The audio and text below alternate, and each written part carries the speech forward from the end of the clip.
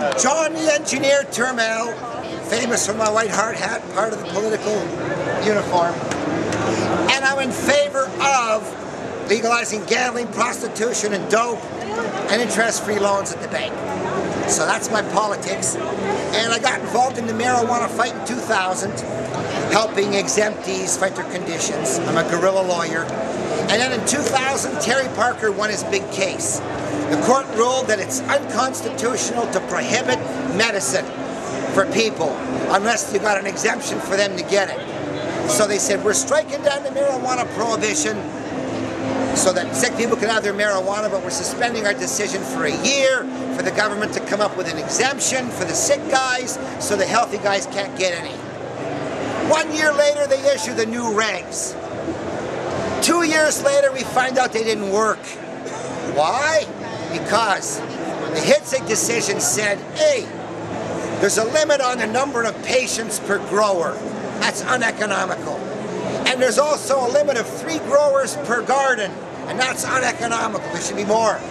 And the court said, granted, that's unconstitutional. Therefore, the marijuana exemption didn't work for the last two years. So they had to drop 4,000 charges against everybody charged who hadn't been tried yet in those two years. So, 4,000 charges dropped because the exemption hadn't worked during those two years. But now that these two caps have been struck, now that you can grow as much as you want, now there's it's working. So the law is alive again. Well, two months later, Health Canada, retards, say we're going to put the limits back on because we're now supplying it to people. It might make a difference. Eight years later, the court rules, hey, putting those two limits on growers back on gummed up the exemption again. The Crown said to the Supreme Court of Canada in their memorandum, which I got, oh no, the court in R versus JP. JP was a kid who got busted for possession of marijuana in Windsor. The court in JP ruled that the combined effect of Parker, who needs it for medicine, and Hitzig, who said the exemption didn't work, meant the exemption didn't work and the law was invalid for two years between July 31st, 01 and October 7th, 03 when they fixed the exemption. Now the exemption works, law is alive again, but we're dropping the charges. Two months later, Health Canada put the two conditions back on. Last year, the Supreme Court of Canada ruled that those conditions gummed up the exemption again. And the Crown Attorney said, oh no, they're going to ask the courts to construe that these decisions say the MMAR didn't work again. They're going to say the law was off again. Yes. And the Supreme Court of Canada dismissed the appeal. And instead of dropping the charges against everybody again, they just kept quiet and kept busting people. But if they know that you know that the law is dead because you file a motion for the return of your pot when you're charged, and you file a motion to quash your charges and a motion for constitutional relief, they go, uh-oh, he's one of the guys who knows the law is dead, we better let him go. So the other suckers with lawyers keep pleading guilty and paying their fines. We've had a couple of dozen people have their charges withdrawn. Derek Francisco, busted growing marijuana. He was a grower, a criminal grower, and he got busted. And he got his exemption. They came to him said, okay, tell you what, plead guilty, just house arrest. He said, no, no, no, no house arrest, go back. So the lawyer went back, came back and said, okay, plead guilty, just possession, not cultivation, not possession for the purpose, just plead to possession, no arrest. He said, hey, I want my equipment back. The lawyer said, whoa, whoa, whoa, no, no, no. He said, go ask. So the lawyer went and asked, came back, okay, plead guilty to just possession, no house arrest, and we'll give you your equipment back. He said, whoa, whoa, I want my pot back too. The lawyer said, are you crazy? You gotta get a section 24 order signed by a judge. They'll never. He said, go. The lawyer went, came back and said, okay, just plead guilty to possession and they'll give you no house arrest, all your equipment back and all your pot back. And he said, I'm not pleading guilty to a law that's dead, and I know it's dead. Either you drop the charges, give my stuff back, or I go forward with my motion to declare the law dead. So, next time back in court, they gave him his, they withdrew the charges, gave him back his equipment. Judge signed an order to give him back all his pot because they didn't want him in front of a judge saying the law's dead.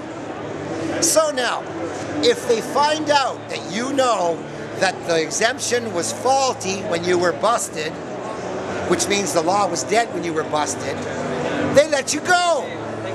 But they're not going to announce it to the world because they got 100 guys a day pleading guilty all over the country with lawyers and paying fines.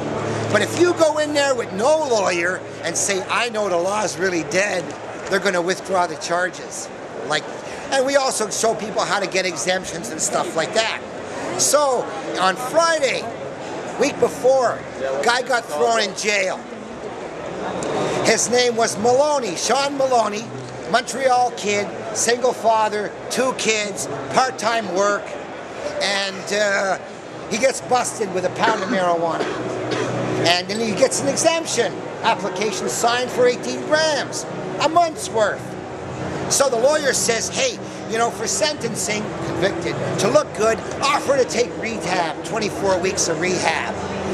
So anyway, he pleads guilty, offers to take rehab, and the judge smashes him with 30 days in jail, first offense. So when he gets out on weekends, so he's got to bus it back and forth to Montreal, Ottawa every weekend. 200 bucks a weekend as long as, as well as losing three days work and finding babysitters for his kids. So after getting out first weekend, I heard about him. I said, when do you have to go back? Friday night? Show up in Toronto Friday morning. I'll get you in front of a judge of the highest court of Ontario and we'll see if she'll, you know, we'll keep you out. So we showed up, 9.45, we served a notice of appeal and a motion to stay the sentence pending appeal on the Crown Attorney's office, saying the motion's going to be heard in 15 minutes. You can do that, ask for short notice if it's important. Well, within an hour, it was in front of the judge, and the judge is telling the clerk, get the Crown down here. He told the judge's story about how terrible it was. Crown shows up, ready to fight about whether the law's dead or not, but then he looks at the conditions of the sentence, and he, oh God, even he's puked out by it. And then he said, okay, we'll consent to the release pending appeal.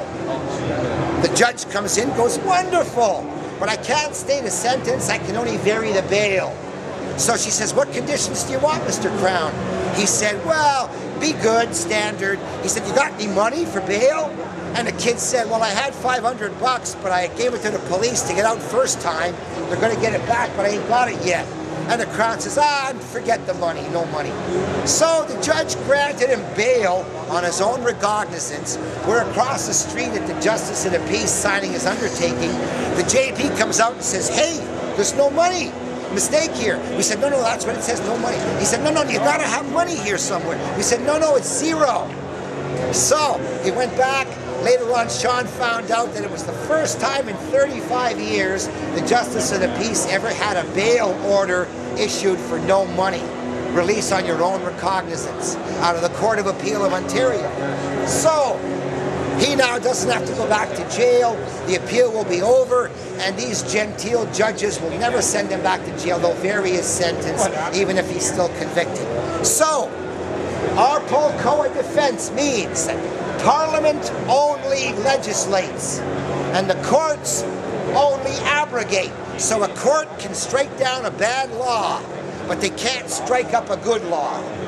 Yet the court said that when we fixed the MMAR, that brought the prohibition back to life. But there's a special section in the Law 43 Interpretation Act that says you can't fix something over here and bring something back to life over there. But the court said they did it. So it boils down to, I have kids at my website where if someone had a conviction in the past, you can fill in an application for an extension of time to overturn and say, I didn't know when I was convicted the exemption was bad and I should have been let go. And I'd like my conviction overturned, my money back so I can go to Disneyland with the kids. You're charged. We've got defense kits, application to quash, application for the return of your pot. As soon as they know that you're applying for the return of your pot, they know you're making a medical defense. Now they can't destroy your pot no more. Gerald Fox was here earlier. He's coming up in August. He had seven pounds seized, got his exemption. They withdrew the charges, and it said, but we destroyed your seven pounds of pot. So he sued them to get it back. And they said you had to apply within 60 days of the bust. Because most pharmacists who want their controlled substance back that was robbed by the criminal will apply within 60 days. But the guy who's been charged as a criminal can't apply yet. So he did. He'll be in front of a judge to find out if he gets the money back for his seven pounds of marijuana. In the meantime, for people who are busted, we have a series of forms at the KID site. First one, you file the application for the return of the pot.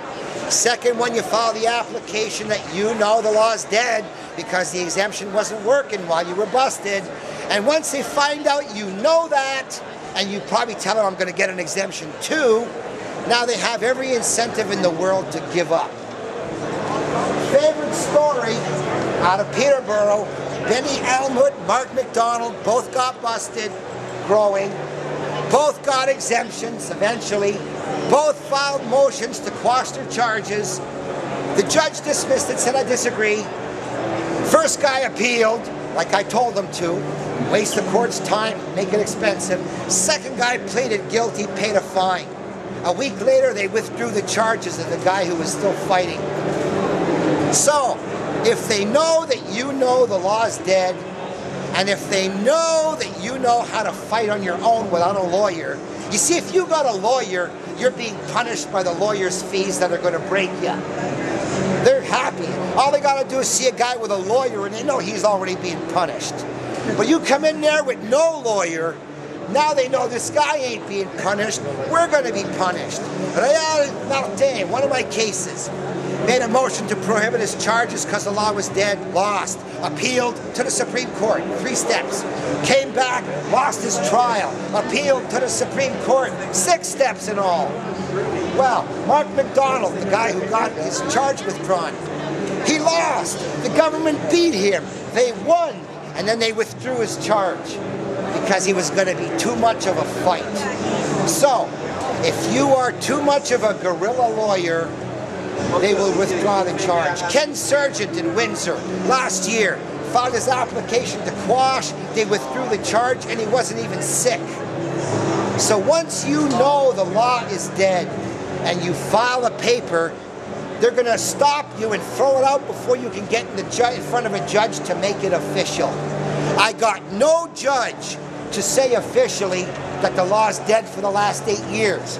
But we got judges who say officially the exemption's been bad for eight years. But no judge will say the prohibition went with it like the first time, except us. If you're one of the guys who's arguing that you were busted while the exemption was bad, so the law is dead, like with the 4,000 drop charges, they screwed it up again. The government will withdraw your charge most likely to get rid of you. So, I have here at my website my forms, the page Turmel Kits, where you can get all the kits necessary to fight your defense now, or to open up an appeal, or to file an appeal, or to appeal late. So everything you need to give the government a nightmare headache in the courts without a lawyer is here. So, I'm Johnny Engineer Turmel with the mission to legalize pot because yes, the sick guy's got a right to have it, but I'm a healthy guy and I want to use it for the prevention of all the things it's good for once you got it, before I get it. But I lost that case, but I'll keep making it. Thank God for these hemp expos. It's becoming more acceptable, more responsible, and still legal. Johnny Engineer Turmel signing off from the Treat Yourself Expo Hemp in Toronto. You got some questions? Yeah. All right, go. Is this in Quebec? What? It working in Quebec? Yes, it's even better in Quebec because in Quebec none of the doctors will sign. we won a case in Ontario two months ago here, the Murdoch case in St. Catharines, where the guy beat his charge because they said not enough doctors participate. In Quebec, it's no doctors participate. You're even stronger than the Murdoch case in Ontario. No doctors participate in Quebec.